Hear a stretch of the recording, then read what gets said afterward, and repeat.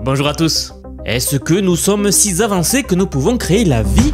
Des hommes affirment avoir réussi à créer de la vie artificielle en laboratoire. Je vous explique tout aujourd'hui. Les choses commencent à bouger pas mal dans plusieurs domaines différents. Vous allez voir, la science avance.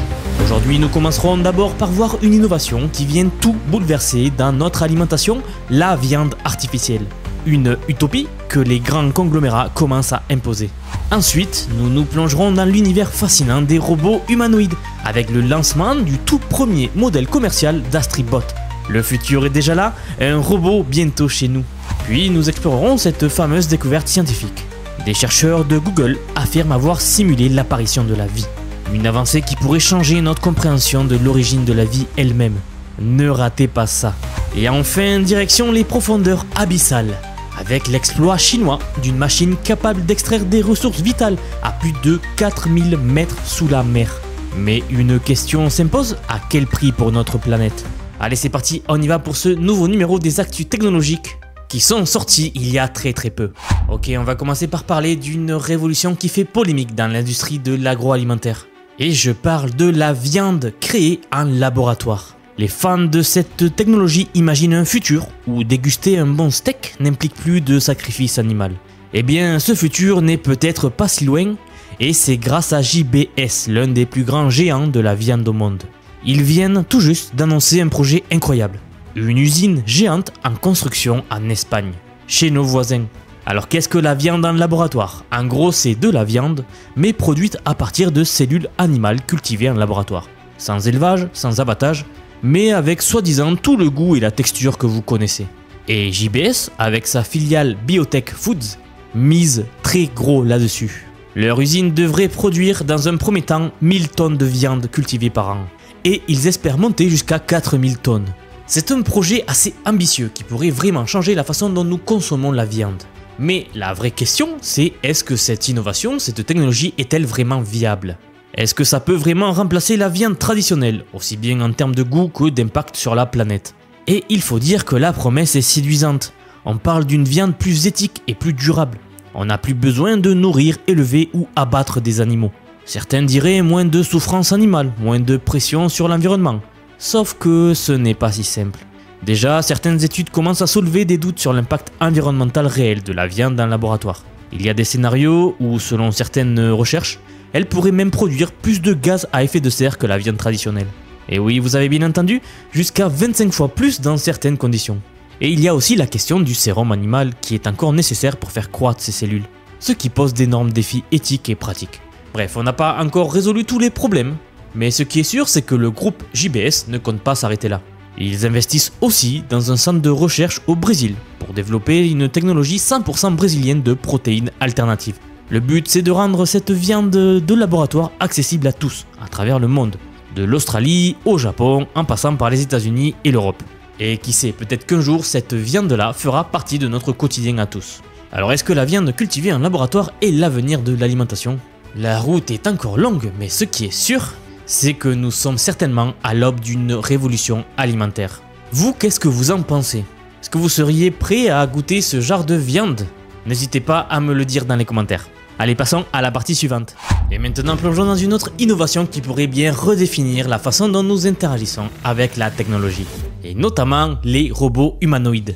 Et je parle du lancement officiel du premier robot commercial d'Astribot, le modèle SE. Alors sur cette chaîne, on a déjà eu l'occasion de parler de ce robot-là à plusieurs reprises, mais cette fois, c'est le lancement officiel. Ou en tout cas, il arrive dans le commerce pour tout le monde. Une vidéo publiée il y a 3 ou 4 jours par cette entreprise-là nous montre l'avenir proche. C'est un monde où les robots humanoïdes ne sont plus de simples concepts ou de simples prototypes, mais de vrais acteurs dans notre vie quotidienne. C'est donc exactement ce que la société chinoise Astribot vient de réaliser, en lançant son premier robot commercial, l'Astrobot S1. Et croyez-moi, ce robot pourrait bien marquer un tournant majeur dans l'histoire de la robotique. Ce qui le distingue ici, c'est sa capacité à fonctionner de manière entièrement autonome, sans aucune intervention humaine. Pas de téléopération, pas de contrôle à distance avec des casques de réalité virtuelle, rien de tout ça. En fait, ce robot est capable de réaliser des tâches complexes en temps réel, avec une fluidité naturelle et une rapidité qui laisse pantois. C'est lors de sa démonstration que le S1 a montré des capacités impressionnantes. Et vous voyez les images en ce moment même. Ce qui est le plus fou dans tout cela, c'est que ce n'est que le début. Le robot est également doté d'un système de vision avancé lui permettant de reconnaître et d'interagir avec les objets qui l'entourent. Il peut donc identifier une multitude d'objets avec une précision assez remarquable. Et ce qui est encore plus fascinant, c'est qu'il peut planifier des actions basées sur ce qu'il voit. Alors vous pourriez vous demander pourquoi est-ce que cela est si important? Parce que cela montre que la robotique humanoïde est encore une fois en train de franchir un pas important. Une nouvelle étape. Nous ne sommes plus en train de parler de simples robots qui seraient dans des laboratoires pour réaliser des actions prédéfinies, mais on parle d'un robot qui serait ici, chez vous, et qui réaliserait plein de tâches pour vous. Donc je le répète, le S1 représente un bond en avant vers des robots capables de s'adapter à des environnements variés, et surtout de comprendre des situations nouvelles de manière autonome. En fait, cela pourrait véritablement déclencher une nouvelle course dans l'industrie robotique, poussant ainsi les autres acteurs à accélérer le développement de leur premier modèle. Bien sûr, il reste encore quelques questions, notamment comment est-ce que ce robot peut réagir face aux imprévus de la vie quotidienne? Je pense que seul le temps nous le dira, mais une chose est vraiment certaine. Nous sommes à l'aube d'une ère où les robots vont vraiment devenir des compagnons et nous les aurons chez nous. Tout le monde aura des robots à la maison. Et franchement, j'ai hâte de commander le premier robot chez moi. Mais bon, j'attends quand même que ce soit l'Optimus qui sorte, vous savez, le robot de Tesla. Qui a d'ailleurs une allure un peu plus humaine et que je verrai un peu plus chez moi. En tout cas, je suivrai les progrès dans ce domaine comme toujours. Allez, passons à la partie principale. Comme je vous l'annonçais dans l'introduction, des chercheurs affirment avoir réussi à simuler l'apparition de la vie en laboratoire et tout cela dans un environnement numérique. Et cela pourrait bien changer notre compréhension de l'origine de la vie elle-même. En fait, l'explication de l'origine de la vie est encore euh, très floue aujourd'hui, même s'il y a beaucoup de théories différentes avec des théories dominantes bien sûr mais il n'y a pas à ce jour de vraies réponses précises sur l'origine de la vie, d'où venons-nous.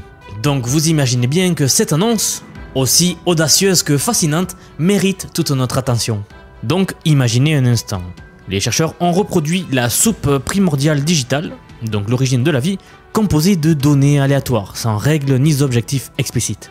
C'est donc dans ce chaos numérique que les chercheurs ont observé l'émergence de ce qu'ils appellent des formes de vie digitales auto-réplicantes. C'est comme si nous avions recréé dans un univers virtuel les conditions qui ont potentiellement donné naissance à la vie sur Terre. Et tout cela il y a des milliards d'années.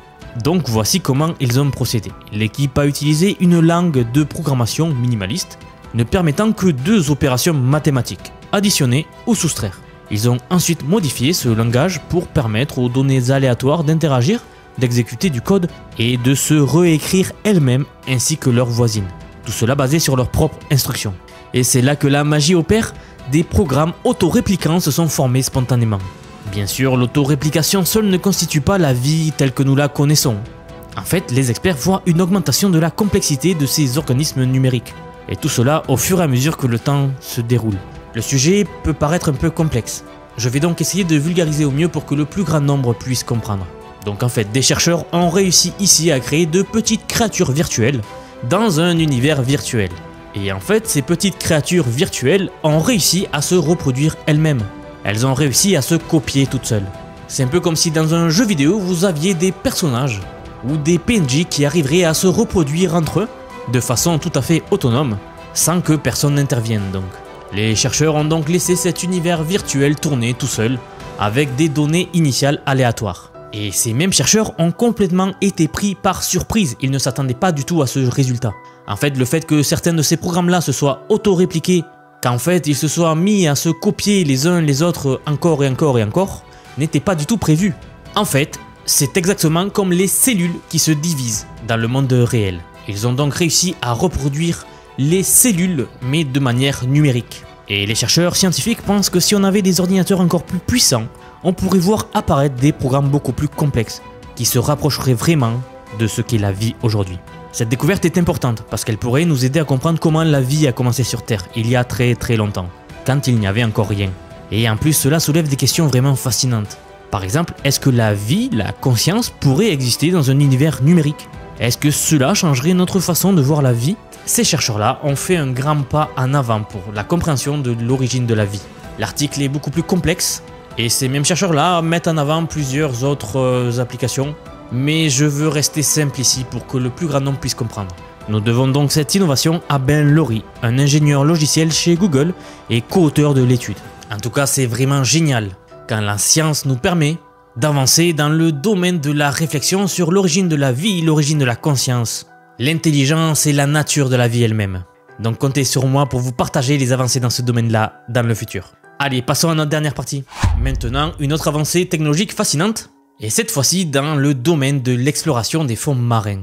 La Chine, encore une fois, vient de franchir une étape cruciale dans la course mondiale aux ressources minérales des eaux profondes. Le véhicule de minerai sous-marin Kutu 2, développé par l'université Jiantong de Shanghai, a récemment établi un nouveau record national en plongeant à l'impressionnante profondeur de 4102 mètres dans le Pacifique occidental. C'est une prouesse technique remarquable qui ouvre de nouvelles perspectives pour l'exploration et l'exploitation des richesses cachées au fond de nos océans. Imaginez un instant ce qu'implique une telle plongée. À cette profondeur, la pression est écrasante, l'obscurité est totale et les défis techniques sont colossaux. Donc en fait, le Kutu 2 n'est pas un simple sous-marin, c'est une véritable merveille d'ingénierie conçue pour naviguer dans un environnement des plus hostiles. Ce véhicule, qui ressemble à un tank futuriste, mesure 6 mètres de long, 3 mètres de large et 2,5 mètres de haut. Il pèse environ 14 tonnes et il est équipé de 4 chenilles qui lui permettent de se déplacer sur le terrain accidenté du fond marin. Mais ce qui le rend vraiment unique, c'est sa capacité à opérer de manière autonome une fois déployé. Et c'est là la grande avancée, l'intelligence artificielle. En fait, il adapte ses mouvements aux variations de terrain sans intervention humaine. Il navigue à travers des montagnes sous-marines escarpées et des terrains difficiles. Et le point fort de cet engin, c'est qu'il n'est pas là juste pour explorer les fonds marins. En même temps qu'il explore les fonds marins, il faut savoir que cet appareil est équipé d'un système sophistiqué de collecte et de stockage de minerais. Donc en fait, en plus d'explorer, lors de ses tests, il a réussi à extraire plus de 200 kg de minerais contenant du cuivre, du cobalt, du nickel, du manganèse. Donc vous voyez bien que les Chinois mixent ensemble l'agréable à l'utile, et ils ont bien raison. Quand on sait que ces éléments sont essentiels pour de nombreuses industries, notamment celles de la technologie, de la défense et de la médecine, cette réussite chinoise s'inscrit vraiment dans un contexte de course mondiale aux ressources des grands fonds marins. En fait, des pays comme le Japon, la Belgique, le Canada, la Norvège et bien sûr la Chine explorent activement ces technologies de minage en eau profonde. Car oui, l'enjeu est de taille, ces minerais pourraient jouer un rôle crucial dans le développement de technologies vertes et de transition énergétique. Perspective d'une exploitation minière à grande échelle suscite de vrais espoirs. Mais bien sûr, le défi pour l'avenir sera de trouver un équilibre entre exploitation de ces ressources précieuses et protection des océans. C'est cet équilibre qui joue un rôle vital dans notre planète. Alors la question se pose, comment pouvons-nous exploiter ces ressources de manière raisonnable? Ou en tout cas de manière responsable? Ce sont des questions qui façonneront l'avenir de notre espèce. Et surtout de notre planète. Donc comptez sur moi pour vous tenir informé sur ce domaine-là aussi. Et je vous rappelle que si vous avez aimé la vidéo, si ce n'est pas déjà fait, vous pouvez vous abonner à la chaîne pour me suivre et surtout me soutenir. C'est en fait la meilleure manière de me soutenir, c'est de vous abonner. Et vous voyez ici une fois de plus à quel point l'avenir de la technologie est radieux. Les découvertes s'enchaînent et ne s'arrêtent pas. Le rythme s'accélère de jour en jour. Comptez sur moi pour continuer à vous tenir informé très très régulièrement de ces avancées-là. Je vous remercie donc d'avoir regardé la vidéo jusqu'au bout. Et bien sûr, je vous dis à très très bientôt pour la prochaine vidéo. A bientôt